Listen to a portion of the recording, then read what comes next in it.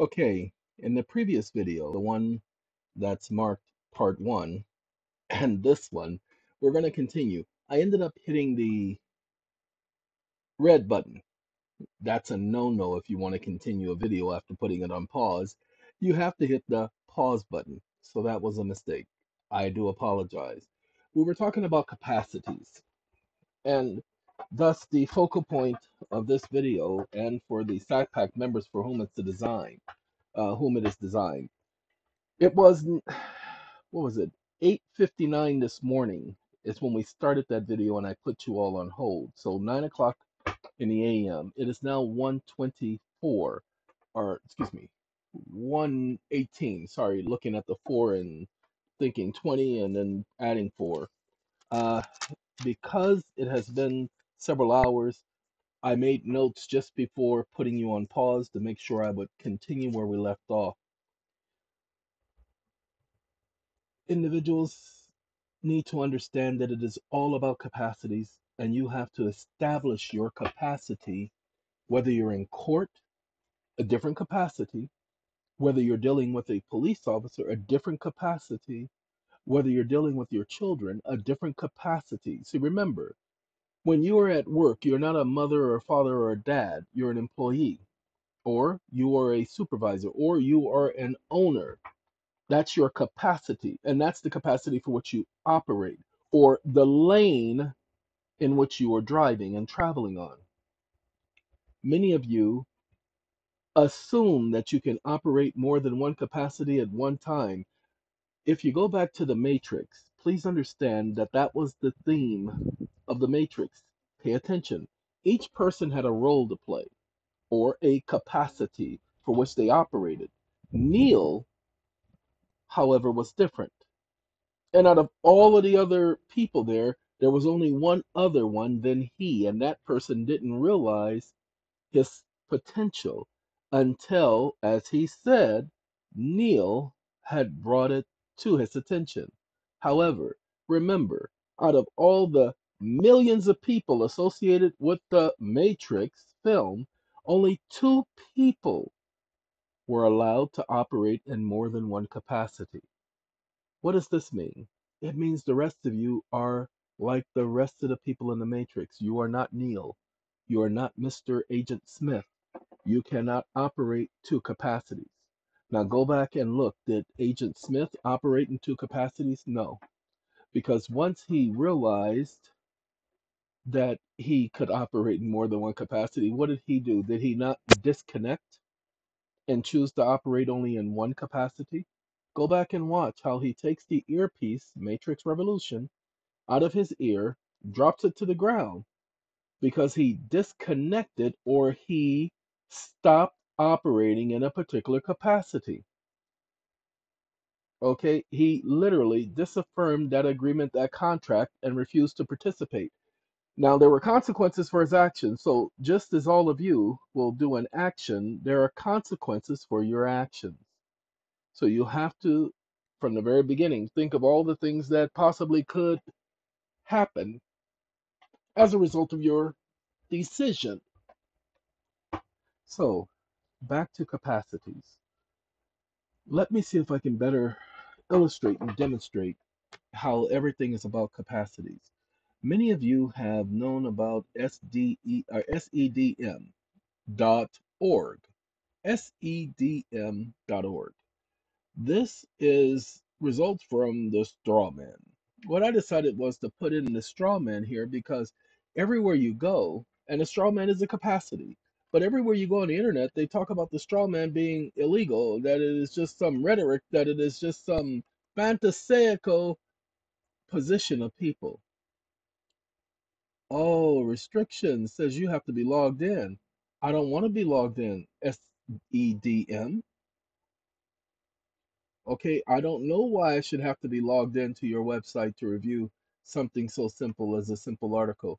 No, see, I am not saying anything negative about the organization here. What I am telling you, so that you all understand, is on our site. That's the first thing everybody asks. Do, do, do we have to uh, sign up for? No, you do not. Everything on our site, all access to all of our documents are free. You don't pay anything for it. We put that up there for free. And yes, many people, many people, not just a few, but many people have taken the information from there and have started their own websites, have started their own companies. And we don't have a problem with that, ladies and gentlemen. We encourage that. We tell you that the information doesn't belong to us. Information, no one has the authority to patent information. You hear about information technology.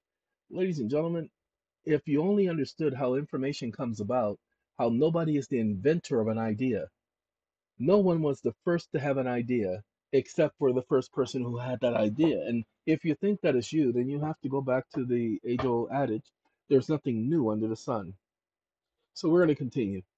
Uh, the reason why we went to SEDM is because this document right here is from there. Proof that there is a straw man. Now, I like this because I don't need proof, but these individuals went and put together an article to prove that there is a straw man. Now, what do they talk about? They talk about the different capacities. Now, I didn't know that this, I didn't look for this document prior to now.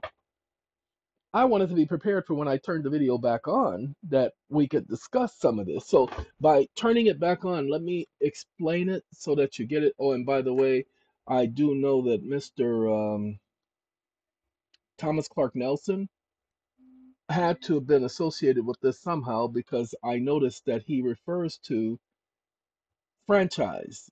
The taxpayer is a franchise. FDIC is an insurance franchise. The Social Security number is a franchise, insurance franchise. This is definitely Thomas Clark Nelson because this is how he did his document that he put together. Well, all of his documents. So I'm pretty certain that he was associated. Now, that individual I'm told has passed away. I don't have confirmation of that because I really didn't know much about Tar- Thomas Clark Nelson. I just know that I've read his documents and have a great deal of respect for him in explaining to people exactly what the law is and what the law is not. And that's the point. You can find his documents at, I believe it is archive.org. Uh, as a matter of fact, let's do that real quick because we took you here and we can't get the document here. But the document that I have there, we're going to, uh, let's see, T,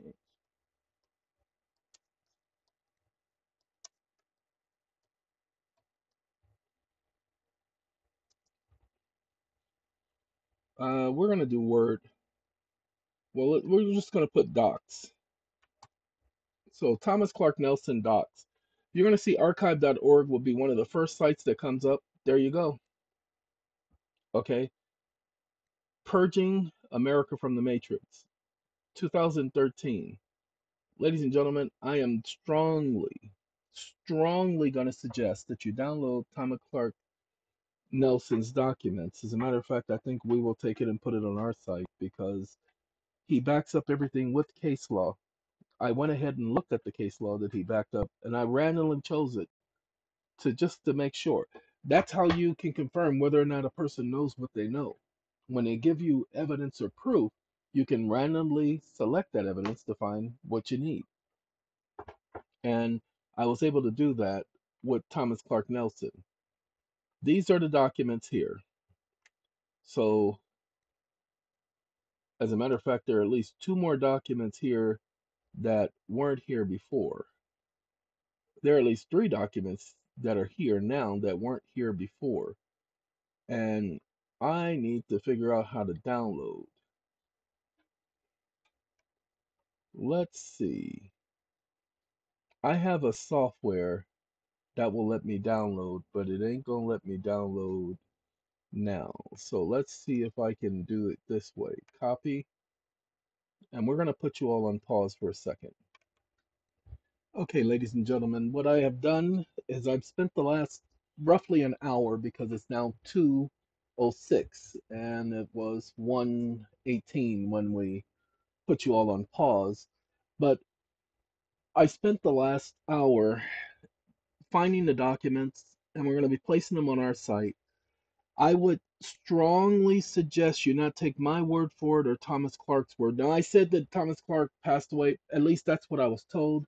And we know how information like that gets taken out of context and out of hand. So I am not sure if Thomas Clark Nelson is still alive or if he has passed.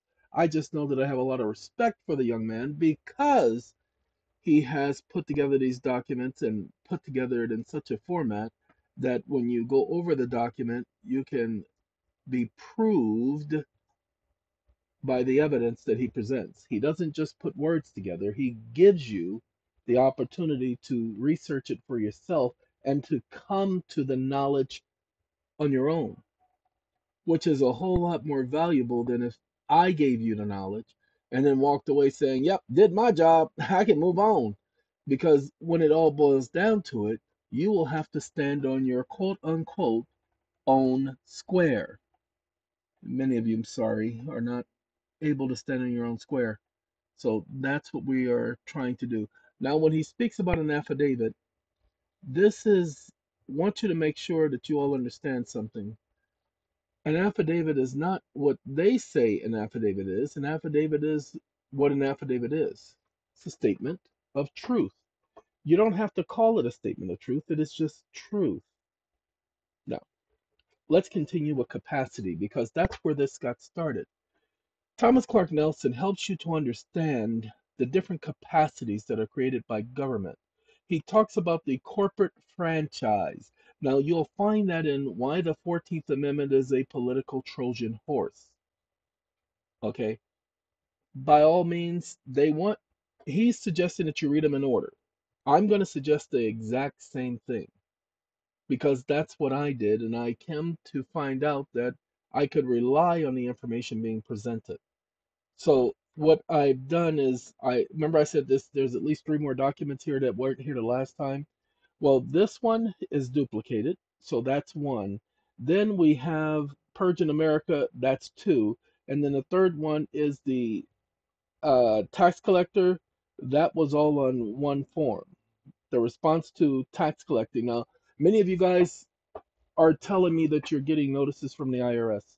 Look, as I told you, I'm one of Jehovah's Witnesses, and I do believe firmly in what Jesus said that individuals must pay back Caesar's things to Caesar. However, in the United States, Caesar is not the IRS. It is not the U.S. Treasury. It is not the President of the United States. It is the people of the United States. Now, if you don't believe me about Caesar being the people of the United States, let's see if I can give you this information from Congress. Democracy in its American interpretation. What is the purpose of the U.S. government? The purpose is to express, is expressed in the preamble of the Constitution. Now, we can't go by that because we've already learned that this is not the preamble. What form of government do we have in the United States? The United States, under its Constitution, is a federal representative democratic republic. Democratic republic. It is not a democratic republic, it is a republic. Democratic republic. Yeah, whatever an indivisible union of 50 sovereign states, which has the exception of town meetings, a form of pure democracy we have at the local and state and national levels of government. Ladies and gentlemen, the people's choice is on the state level. The people get to vote. I don't vote. I never will vote. I'm one of Jehovah's Witnesses. Jesus says that his followers are no part of the world. I purport to be one of his followers, so I choose not to vote.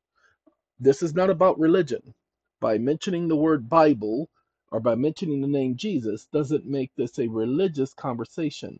I'm only stating to everyone that I advocate supporting government whenever we humanly can possibly support government. However, government has limits as to what type of support they can ask for.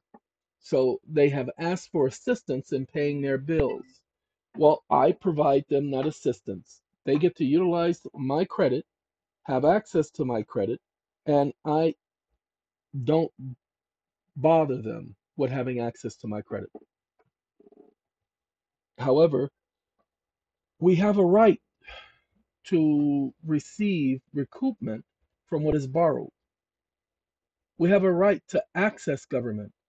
So, as we mentioned, it's all about capacities. Many of us are pursuing things under the wrong capacity. We're coming to the government and we're not stating under what capacity we're coming under. So remember, un, in the United States, the democracy is under the states. That's where individuals vote for every single representative. Every single representative except for the underlings. People don't vote for them. But for the most part, in most states, individuals vote for every single representative. That being the case, since they vote for every single representative, it's a democracy. The majority rules. However, on the federal level, that is not the case. Remember, senators are voted in not federally, but on the state level. You guys need to understand that. Federal judges are not voted into office. Federal judges are not voted into office. It's not democ- democracy. Supreme Court judges are not voted into office. Not democracy. Who set the rules for the choosing of these judges? Was it not Congress? Did they not say that they were exercising that authority under the authority given to them by the people? So it is not democracy. Just because they say that they're doing it democratically, we've seen those hearings. We've seen how they treat each other in those hearings. We see how they slight things a particular way in the media to get you all to believe that this person is bad and that person is good when both of them are bad or both of them are good. They don't let the people decide. No, a few members of Congress decides. Why? Because if we, the people, were to decide, then things would not go the way they expect it to go. Okay, so let's get back to capacities, shall we? Because that is extremely important. So let's click and find out what Google has to say about capacity. The first thing I did was I put in capacity of a defendant. You mean a defendant has a capacity? You better believe he does. Whether it's civil or criminal, the defendant has a capacity. Now, this is taken from Cornell Law.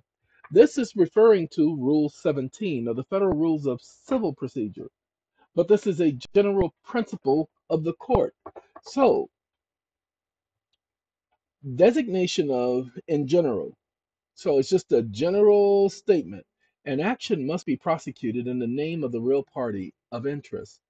The following may sue in their own names without joining the person for whose benefit the action is bought, uh, brought. Excuse me. An executor.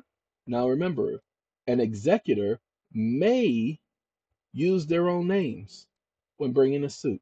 So a person can come into the court as an executor, an administrator, a guardian, a bailee.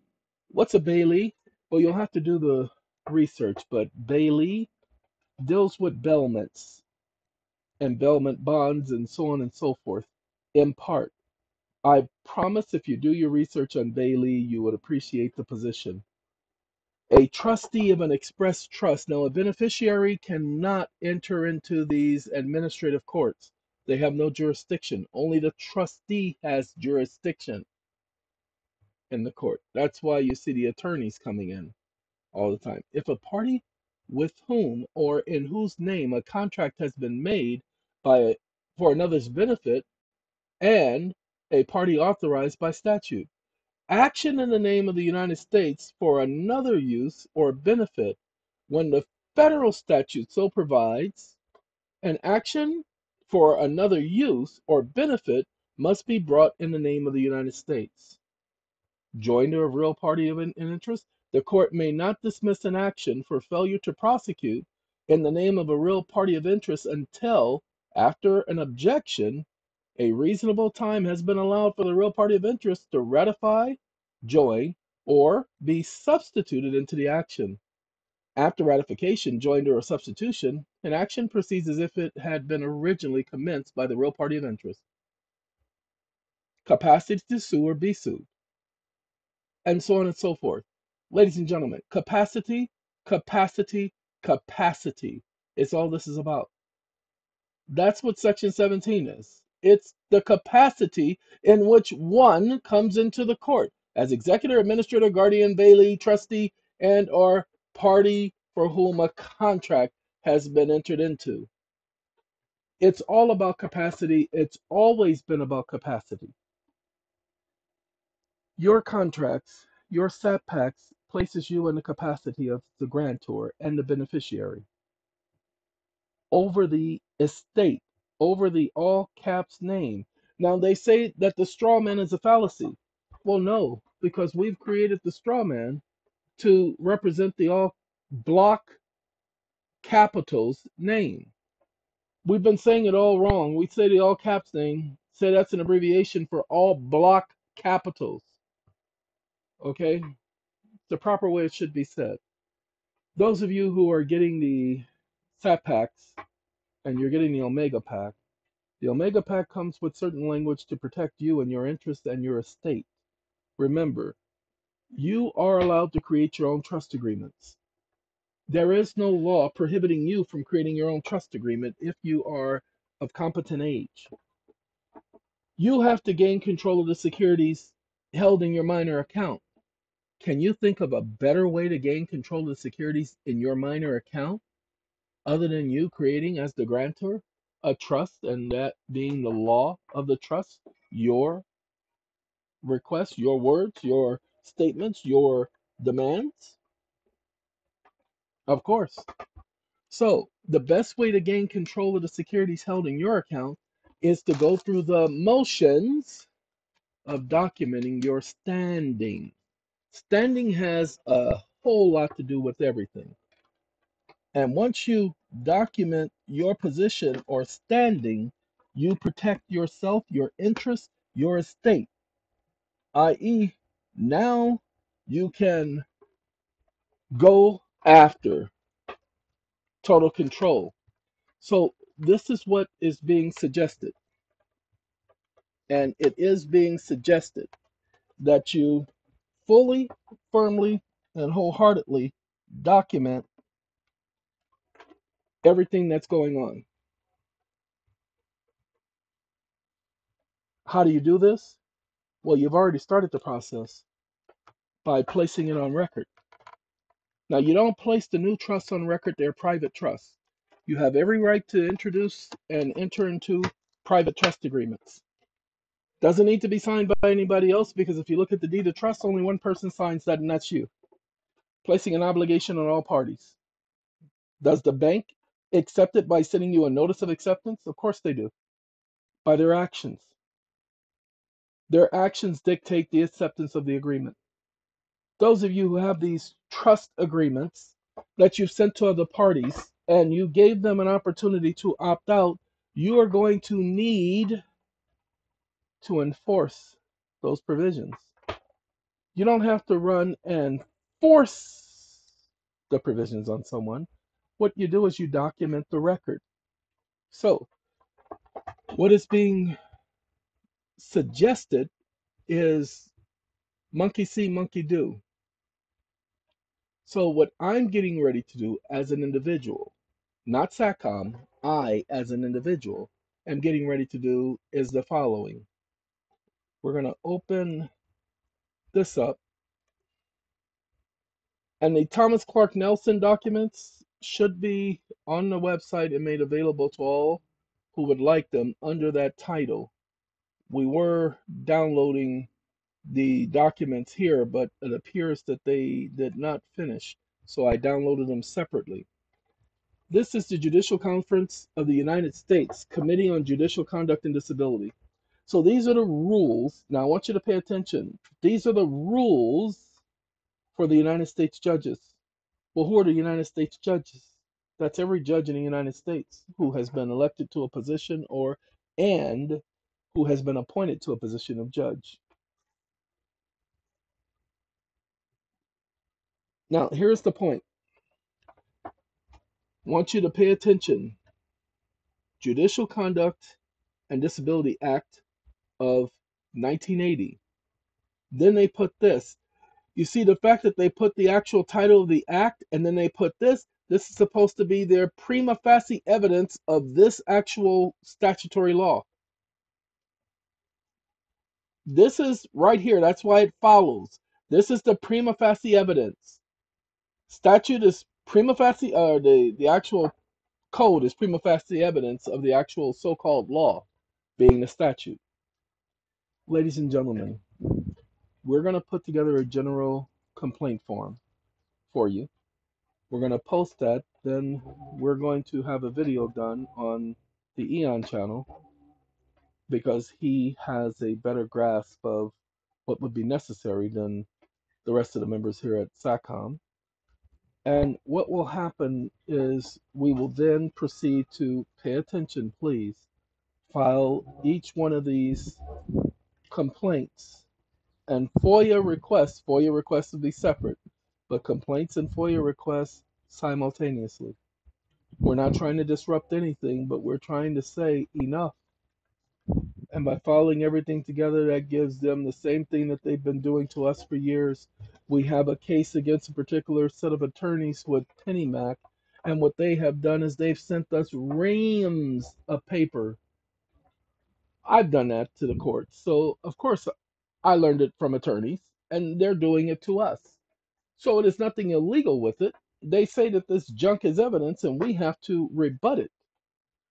Well, ladies and gentlemen, what I am here to tell you is that we are not going to send them rims of documents. What we're going to do is we're going to send them documentation, a complaint, statements of claim, and we're going to give them a 30 day period in which to respond. We're not going to give them 15 days, not going to give them 14 days. We're going to give them 30 days, not going to give them 60 days. We're going to give them 30 days to respond. However, we're not just sending it to one agency, we're sending it to all the major players. Why? Because as Mr. Thomas Clark Nelson has, if you go and look at the documents, they're going to be on the site by the time this video is up. If you go and look at what Mr. Nelson is saying, we have to notify them of the change in terms of agreement. See, when you send government a notice and you are basically saying, I'm not doing this, I'm not doing that, this is the way things are going to be, you're giving them a notice of change in terms. Okay? Now, pay attention to this. Where to file a complaint? Who may be complained about? If you believe that a federal judge committed misconduct or has a disability, you may file a complaint about it with the proper court office. Proper court office. Now, pay attention. These are catchphrases. That's word specific. What's the proper office? To complain against a United States District Judge or a United States bankruptcy judge? Well, first of all, bankruptcy judges are not judges. They're legislative, so they're not part of the judicial branch. A magistrate is not a judge, he is a magistrate. You must file it in the clerk's office of the United States Court of Appeals for the region or circuit in which the judge serves. If the complaint is against the judge of the United States Court of Appeals for the Federal Circuit, if the complaint is against a judge of the United States Court of Appeals for the Federal Circuit, you must file it at the Circuit Executive Office of that court. If the complaint is against any other United States Circuit judge or against a judge of a national court, the Court of International Trade or the Court of Federal Claims, you must file it at the clerk's office of the court in which the judge serves. Okay, ladies and gentlemen, you know the rule.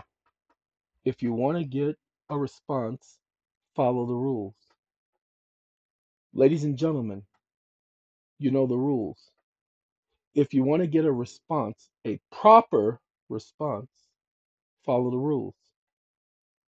Ladies and gentlemen, if you don't follow the rules, then you cannot be disappointed if they don't follow the rules. Let's see if we can express that one more time so that people will get it.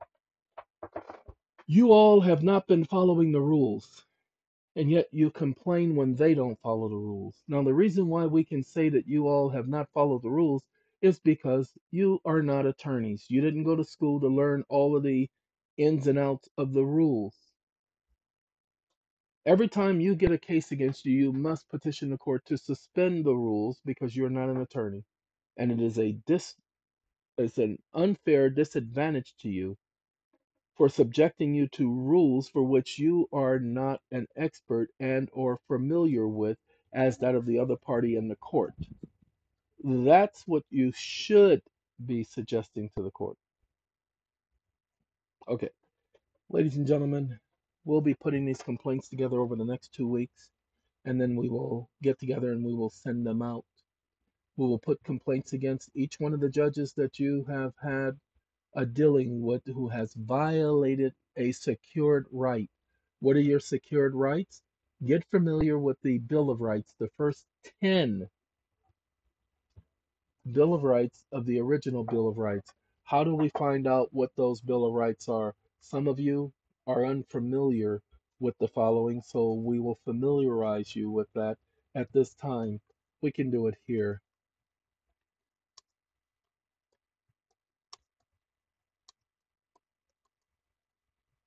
What I'm doing is the Bill of Rights. Now, I needed you, and they say the Bill of Rights was added to the Constitution because the Bill of Rights was not added to the Constitution. The Bill of Rights was the Constitution. And that's what people don't understand. A R C H I V E dot G O V.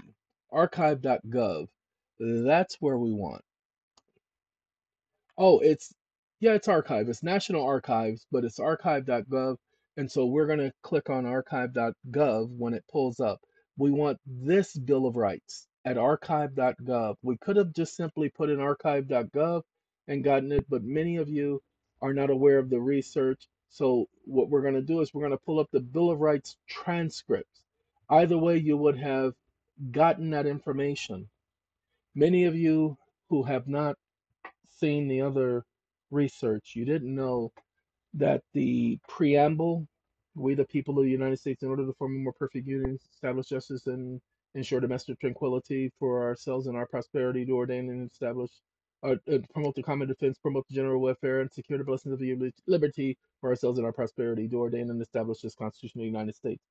Ladies and gentlemen, please understand that the preamble to the Constitution is not what you just heard me state verbatim. The preamble to the Constitution is not what you just heard me state. Please pay attention.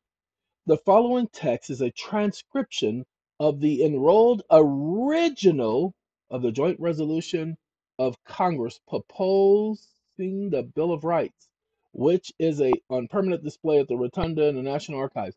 Now it says the following is a transcription.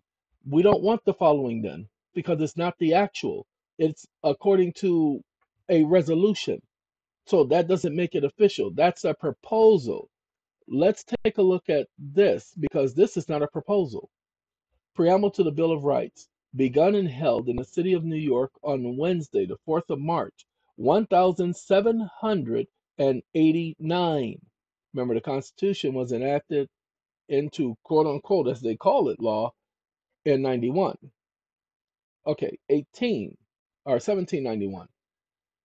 The Constitution and members of the states having blah, blah, blah, blah, blah. We don't need to read it. Having resolved, blah, blah, blah, blah, blah.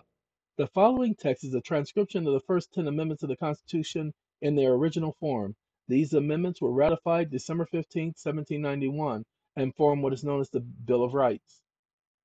Okay, this is your Constitution. The first 10, there was nothing else that was there when they brought it into law. It's known as the Bill of Rights. Okay, the capitalization and pronunciation or punctuations of this version is from the enrolled original of the joint resolution of Congress proposing the Bill of Rights, which is on permanent display at the rotunda of the National Archives building. Okay, ladies and gentlemen, the we the people of the United States, we're definitely suggesting that people do their research on the information that's being here presented. See, this saying this is what associ- uh, was associated with the joint resolution, but the only problem is, and this is this is the problem that we are having. The only problem is the actual Constitution when it was enacted. There are some questions. There are some questions whether or not that was the Constitution or whether or not the Bill of Rights that we're just referring to is the actual Bill of Rights. Okay, the convention of number of states having at the time their adoption of the Constitution expressed a desire in order to prevent misconstruing or construction and abuse of its power, that further declaration of respective clauses or restrictive clauses should be added. And as extending the grounds of public confidence in the government will best ensure the benefic- beneficent, uh, beneficent, beneficent, excuse me, ends of its institution. Might never have been ratified if the farmer, farmer, farm- farmers hadn't promised to add the Bill of Rights. Ladies and gentlemen, they could not have gotten the Constitution together without the Bill of Rights because the Bill of Rights is the Constitution. Go back and look. There were only 10. There weren't 15, 20, or 30 in 1791. In 1789, there was only one Bill of Rights, but originally there were 12. And they ratified it and put this together, known as the 10 Amendments. Like I said, the Bible had 10 commandments, and they wanted to mimic that by creating 10 amendments. All right. Now, again, we have this document with proof that there is no straw man that we just placed on the site, and we're going to let you all have access to this. Let's see if we can uh, pull it up so that I can download it again and put it in that folder so that when you guys do download it, now you'll even get that record from Congress, that will even be in the folder. Okay, so you will have access to that. All you have to do, the folder that it is in is Thomas Clark Nelson. That is the name of the folder. Might as well give Thomas Clark his credit. And so thus we name the folder after Thomas Clark Nelson. If you get a chance to read the documents by Thomas Clark Nelson, and it is one of those study reads because Thomas Clark Nelson is showing you the foundation of the codes, the foundation of the laws. Not everyone, but the major ones. He's showing you the Supreme Court case decisions and how it relates to those codes, those laws. So we'll put those documents together. You will have them and you will be able to go from there. My problem is I don't know what page this is on and I have to download it. So let's see if we can save it and if it'll save as PDF. If not, after I do the video, I will save this file. Remember, this is in a two-part video, part one, part two. And so I will put it together. We're going to get rid of the Google Books part. And because it is Google Books, oh yes, it's doing HTML, and I don't want to do HTML. But I will save it nonetheless. For those of you who don't have the link, But Oh, okay. I do also understand the reason why it hasn't, because when I chose it, I chose it this way. Proof of the straw man. So I chose it this way because it is Google Books. And so they have at a S E D M. SEDM. Okay, they have it there. It's form number 05.042. I hope that that's explanational. All right, ladies and gentlemen, thank you for taking the time. As we said, we're working very hard to make sure that the, here it is right here. So we will have the PDF. And like I said, I appreciate SEDM. And the unique thing is I, I definitely need to express this so that you guys understand. I used to know what SEDM stood for. I know the last word stands for ministry. Okay. I am sorry that I couldn't hold on to it because it wasn't something that I would say all the time, so I don't hold on to such information. But I will say for a certainty that I have a lot of appreciation for SEDM and the information that they give. I do know that I've done the research on the taxes, and they have information on their site with those of you who are having tax difficulties and communicating with the IRS because, yes, sometimes, and I'm sorry, the IRS, by not answering the phones or by not providing detailed responses to people's inquiries, might be a little difficult to deal with. And so, what I am suggesting is that you take a visit to sedm dot org, And you might find something very helpful on the site. As the members there says, the information is free. The only thing you have to do is register. Ladies and gentlemen, we will have the document that we just showed you. It will be up on the site as well.